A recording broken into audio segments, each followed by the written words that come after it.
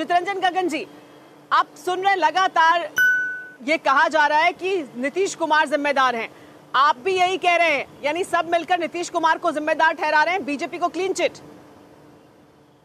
देखिए, मुख्यमंत्री नीतीश कुमार हैं और जिस ढंग से उन्होंने शासन चलाया है, मंत्री की भी राय नहीं ली जाती थी, जो जिस विभाग के मंत्री हैं, उनसे भी नहीं पूछा जाता था और जो मुख्यमंत्री चाहे पूरे पंद्रह साल उसी ढंग से बिहार को चलाने का काम किया।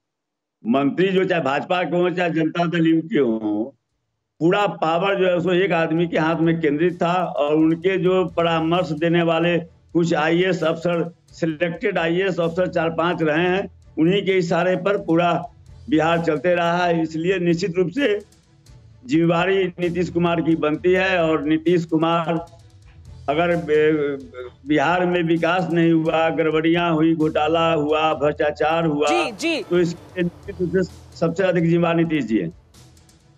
फ़िक्र आपकी सोमवार से शुक्रवार रात नौ बजे सिर्फ़ टीवी नाइन भारत वर्ष पर।